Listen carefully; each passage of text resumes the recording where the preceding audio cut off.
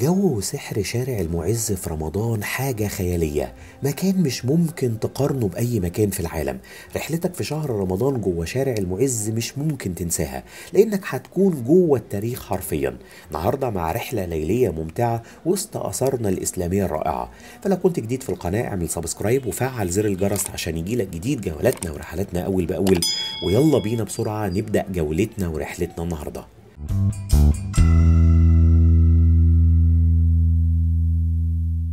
هنبدأ رحلتنا وجولتنا النهاردة وإحنا رايحين على واحد من أهم وأجمل شوارع مصر وهو شارع المعز وإحنا موجودين دلوقتي في باب الشعرية أو في ميدان باب الشعرية وهندخل على شارع الجيش ومن شارع الجيش هندخل على شارع البنهاوي عشان يكون على يمنا سور من أسوار القاهرة القديمة وبابين من أبواب القاهرة القديمة وهما باب الفتوح وباب النصر عشان ندخل من واحد منهم لشارع المعز الشارع الجميل جدا واللي هتستمتعوا بيه جدا لو زرتوه في شهر رمضان وحتى لو زرتوه في غير شهر رمضان. وزي ما الكلمات الجميلة كانت بتقول رمضان في مصر حاجة تانية والسر في التفاصيل. الكلام مش بس يعني ال ال الكلام ده مش بس كلمات لكنه واقع بيبرهن عليه اللي إحنا شايفينه ده. الفوانيس والزينة أنوار المساجد وأنوار الشوارع هتلاقوها موجودة في كل حتة في مصر. سواء كانت المناطق دي مناطق شعبية أو متوسطة أو راقية. بالفعل هتحس إنه شيء خيالي وجميل. جميل ومبهر. عايز أقول لكم إن مصر طول عمرها مميزة بالعادات الجميلة في شهر رمضان المبارك. زي ما أنتم شايفين كده شوارع مصر بتتحول للوحات فنية بتخطف نظرك أول ما بتشوفها. بتحس وأنت بتبص في وشوش الناس في رمضان بالبهجة والفرحة والانبساط.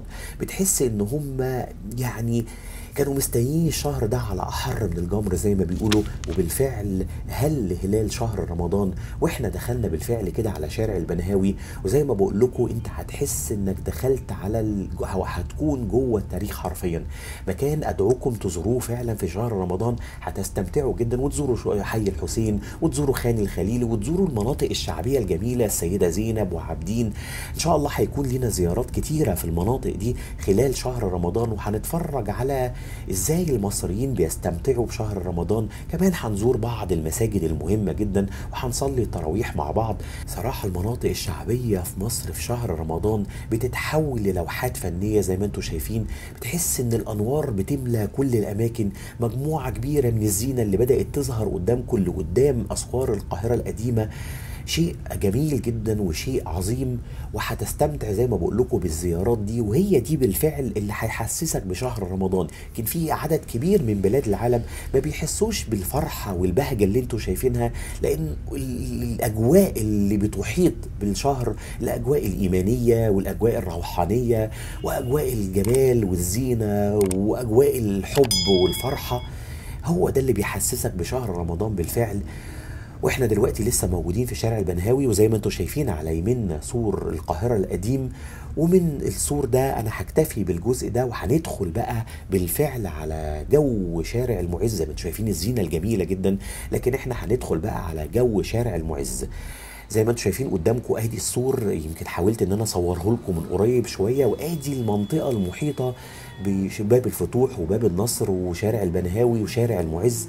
حاولت برضو ان أنا اوضح لكم الجزء اللي بره بيكون شكله عامل إزاي لغاية ما هندخل بقى مباشرة كده من البوابة اللي بدأت تظهر قدامكم على شارع المعز. ادي البوابة الفتوح أو باب الفتوح هو ده اللي هندخل منه وهنكون زي ما بقول لكم كده هندخل جوه التاريخ حرفيا. بحاول أتجول بالكاميرا كده وأوريكم شكل الأجواء اللي موجودة خارج الباب. دخلنا بالفعل كده على شارع المعز وبقينا جوه يعني وسط آثارنا الإسلامية الرائعة. واتفرجوا بقى على عدد كبير جدا من الملامح اللي بتميز شارع المعز في رمضان. وزي ما أنتم شايفين جو وسحر شارع المعز في رمضان حاجة فوق الخيال فعلا. شيء لا يمكن تقارنه بأي مكان في العالم. كل اللي بيزور مصر بيحرص إنه يزور شارع المعز في رمضان. هتكون رحلة وسهرة رمضانية ممتعة وسط التاريخ. لانك فعليا جوه أكبر المتاحف المفتوحة في العالم للآثار الإسلامية. هنا هتشوف جمال الماضي وجمال الحاضر. هتلاقي محلات على كل لون ذهب وصواني نحاس وملابس فولكلورية وقهاوي شعبية وعائلية وشبابية. زي ما أنتم شايفين في مجموعة كده من الشخصيات الفنية اللي أثرت شهر رمضان بمجموعة من الأعمال الفنية للأطفال. زي ما أنتم شايفين بوجي وطمطم. إحنا في منطقة بيت السحيمي وزي ما أنتم شايفين الناس اللي بتستمتع بسهرتها جوه آه، شارع المعز وفي القهاوي وفي الكافيهات اللي منتشرة في شارع المعز. في مجموعة من المطاعم اللي ممكن برضو تتسحر فيها أو حتى تفطر فيها. زي ما أنتم شايفين الناس تحس فعلا في وشوشهم بالبهجة والفرحة. إحساسهم مختلف عن أي الأيام العادية زي ما أنتم شايفين. يمكن ده بيسموه أبو الغيط. اللي بيلف كده مجموعة من الأقمشة. وزي ما أنتم شايفين العائلات كلها بتستمتع بوجودها داخل شارع المعز في رمضان. زي ما بقول لكم هتلاقي عدد كبير جدا. هتلاقي مجموعة من المحلات اللي بتبيع التمر هندي والخروب والصوبيا. وفعلا طول ما أنت ماشي في شارع المعز هتحس إنك مبسوط. هتحسك يعني إن إن أنت انتقلت لعصر جميل ومبهج. جو الرمضاني هنا ليه سحر خاص وسط الآثار الفاطمية هنا واللي بتحكي بقى عادات وتقاليد أجدادنا على مر العصور. زي ما أنتم شايفين عدد كبير من أفراد الأسرة كلها بتحب إنها تيجي وتزور شارع المعز في شهر رمضان. يتمشوا ويتفسحوا ويتسحروا كمان. بهجة وحنين للماضي مش ممكن تنساه. وإحنا بنتمشى كده في شارع المعز اللي كان اسمه زمان الشارع الأعظم وبعدين في مرحلة تاريخية تانية اتسمى قصبة القاهرة لأنه كان بيقسم القاهرة لاسمين قد بعض. كان الشارع هنا هو المركز السياسي والتجاري والروحي للقاهرة أيام الفاطميين. اتفرجوا على فرحة ال... وجمال استمتاع المصريين بشهر رمضان. البالونات وبعض المأكولات الحلويات كده اللي بتتعمل ممكن يعني تشتريها وانت بتتمشى وتتفسح جوه أكبر متحف مفتوح للآثار الإسلامية شارع المعز لدين الله الفاطمي. ويمكن ال- الشارع ده اتسمى على اسم الخليفة الفاطمي الأول في مصر. شارع كان بيمثل وما زال بيمثل قلب مدينة القاهرة القديمة. شارع هنا من أشهر الأماكن إن لم يكن أشهرها اللي بيحب المصريين والسياح إن هم يزوروها في رمضان. شارع كمان مدرج آه، في قائمة لجنة التراث العالمي بمنظمة اليونسكو كموقع من مواقع التراث العالمي. زي ما أنتم شايفين الشارع زي ما أنتم شايفين في أكبر قدر من الآثار الإسلامية في العالم. استمتعوا برمضان استمتعوا بخروجاتكم في المناطق الجميلة جدا والشعبية اللي موجودة في مصر. استمتعوا بمصر استمتعوا بخرجوا ولادكم وعرفوهم على الآثار اللي موجودة في بلدهم. يعني بصراحة هيستمتعوا بجولة ورحلة مش ممكن ينسوها. هيتصوروا ويتفسحوا ويفطروا ويتسحروا ويصلوا صلاة العشاء وصلاة التراويح وصلاة الفجر. يعني مناطقنا ال- ال- القديمة دي مش ممكن تتعوض يا جماعة. يعني بصراحة عايز أقول لكم إن في عدد كبير جدا من البلاد تتمنى فقط إن هي تمتلك أثر واحد من الآثار اللي موجودة قدامكم. تخيلوا إن إحنا ما عندنا مجموعة كبيرة من الآثار الإسلامية والآثار الفرعونية والآثار القبطية. عدد كبير جدا بيميز مصر اللي طول عمرها متحدة مترابطة إلى يوم الدين بإذن الله. إحنا موجودين وبنتفرج على إزاي المصريين بيستمتعوا بليلتهم إزاي المصريين بيتبسطوا ويفرحوا. يعني هتحس زي ما بقول لكم بالبهجة والفرحة موجودة ومرسومة في وشوش الناس وانت موجود في شارع المعز واللي بيمتد من باب زويلة في الدرب الأحمر وبيمر بالغورية وشارع الصاغة وبيوصل لباب الفتوح بالجمالية. الشارع هنا بيشهد عمليات تطوير مستمرة بدعم من اليونسكو. يمكن الناس والبياعين هنا بيلخصوا مشهد الناس اللي بتزور الشارع في رمضان بإن هي دي البهجة بعينها. فعلا رمضان هنا الجمال جو مبهج لكل اللي بيزور شارع المعز. حتى اللي ساكنين هنا في شارع المعز بيحسوا إن الشارع مبسوط وسعيد بشهر رمضان. التجمعات العائلية هنا بتبدأ قبل الفطار بيفطر الناس هنا وبتستمر بقى البهجة لغاية صلاة الفجر. هنا هتلاقي حفلات بدوية جميلة هتلاقي السودانيات كده اللي بيرسموا الحنة والمحلات اللي بتبيع النحاس وحاجات ومنتجات تانية كتير جدا. هتقدر إن أنت تجيب مجموعة من التذكارات. بتلخص رحلتك داخل شارع المعز وبتلخص رحلتك في القاهرة القديمة زي ما أنتم شايفين غزل البنات زي ما أنتم شايفين القهاوي اللي موجودة في شارع المعز واللي ممكن تفطر وتتسحر فيها. زي ما أنتم شايفين وسط التاريخ والجمال كله هتقدر أو تقعد في الأماكن دي وتستمتع بجو رمضاني ممتع ومبهر. طبعا عايزين نقول إنه في الأصل رمضان هو شهر عبادة وشهر صيام وشهر دعاء. ما تعملش أي حاجة غير بعد ما تصلي التراويح وتصلي العشاء العشاء وتصلي التراويح وتصلي القيام وبعدين استمتع بقى انت وولادك وعيلتك بالتمشية داخل شوارعنا القديمة وداخل شارع المعز اللي إحنا بنزوره النهارده. عايز أقول لكم ان موجود في شارع المعز ده باب الفتوح وباب زويلة وجامع الأقمر وجامع الحاكم بأمر الله. مسجد وسبيل سليمان اغا السرحدار وغيرها كتير من الآثار الإسلامية اللي أنتوا بتتفرجوا عليها. أدي كافيه من الكافيهات اسمه بيت القاضي. أدي آثارنا الإسلامية الجميلة. كمان وانت موجود في شارع المعز ممكن تتصور وانت لابس الملابس الفولكلورية والشعبية والبدوية. مجموعة من الشباب اللي بيستمتعوا برحلتهم اللي موجودة شا- داخل شارع المعز. زي ما بقول لكم كده أجواء من البهجة والفرحة مش ممكن تلاقيها في أي مكان تاني في مصر غير في المناطق الجميلة القديمة بتاعتنا. زي ما أنتم شايفين حتى الآثار تحس إن هي فرحانة كده متنورة بشكل جميل. يعني بصراحة آه، جو مش ممكن فعلا تنساه. أدي زينة رمضان اللي بتزين شوارع وحواري وأزقة مصر أول ما الشهر بيهل. هتلاقي كمان مجموعة من الفوانيس اللي موجودة بأشكال مختلفة واللي ممكن زي ما بقول لكم ممكن تشتري تذكار لرحلتك الجميلة داخل شارع المعز. استمتع واتبسط وتمشى وافطر وتسحر داخل شارع المعز. تلاقي برضو مجموعة كده من الناس اللي بيصوروا لو انت عايز لو ما كانش معاك كاميرا احترافية يعني وعايز صور م- يعني جميلة.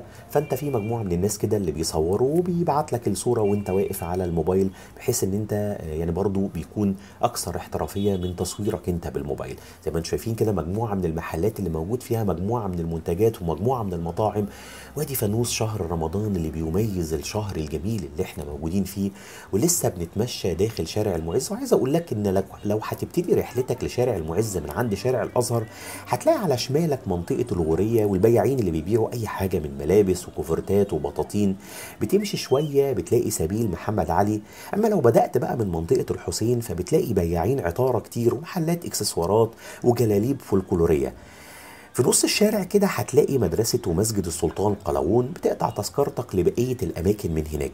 كمان هتلاقي مسجد السلطان برقوق واللي مميز بممر خاص كده في دايرة زرقاء وقادر إنه يرجعك لعصر المماليك اللي بنوا المسجد. كمان هتلاقي بيت السحيمي في ممر كده؟ ولو كملت في الممر شوية هتلاقي مدرسة بي- آه، بيبرس البندقداري واللي هتلاقي فيها أكبر تجمع للعصافير والحمام. ولأن خدام المسجد بيهتموا بيهم والمسجد كمان سقفه مفتوح. كمان في زي ما بقول لكم مسجد الحاكم بأمر الله يمكن اللي زرناه قبل رمضان في ملامح استقبال المصريين لشهر رمضان. ويمكن كمان المسجد ده رغم جماله جدا الكبير جدا لكنه كان زمان بيستخدم كمخزن للتجار. زي ما أنتم شايفين مجموعة من المحلات اللي بتبيع اللوحات الجميلة اللي فيها كده رسومات آه، القاهرة القديمة وشكل الناس كانوا إزاي عايشين زمان.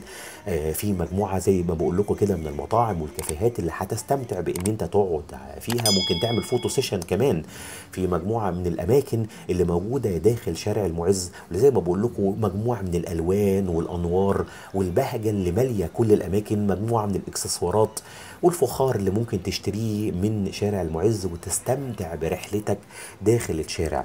لا عايز أقول لكم إن اللافت في شارع المعز إنه بيجذب كل فئات المجتمع كل فئات العيلة. مش بس الشباب هتلاقي مجموعة من الشباب والناس الكبيرة والأطفال بيستمتعوا جدا. كمان السياح الأجانب بيحبوا إن هم يجوا يزوروا المكان اللي إحنا موجودين فيه دلوقتي.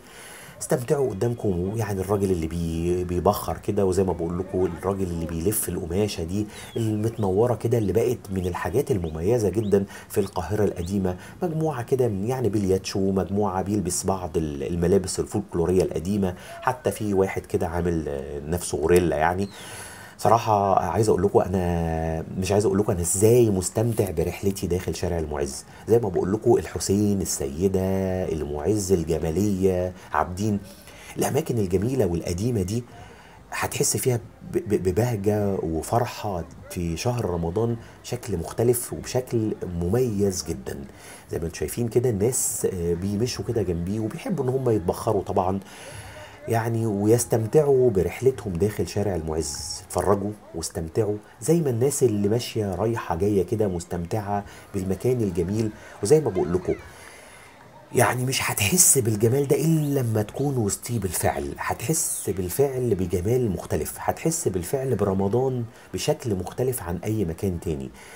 بدعو كل الناس اللي, اللي ساكنة في المناطق الراقية والكومباوندات اللي موجودة في الشيخ زايد اللي موجودة في القطامية اللي موجودة في كل الأماكن الجديدة إن هم يجوا يزوروا القاهرة القديمة.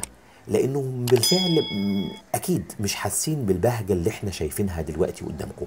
زي ما أنتم شايفين آه، يعني الناس بيستمتعوا آه، مجموعة كده من العروض اللي انت هتستمتع دي الأطفال اللي بيرقص مع الغوريلا بيستمتع بيومه العائلات الجميلة اللي رايحة جاية بتستمتع بيومها بتستمتع بليلتها زي ما بقول لكم سهرة رمضانية جميلة.